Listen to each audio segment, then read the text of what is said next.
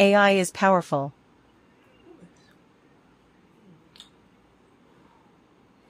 I uploaded a video from my YouTube channel. If you missed it, go back to watch.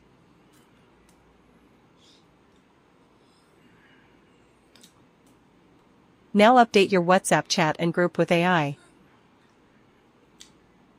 You are only familiar and friends with conversational meta AI.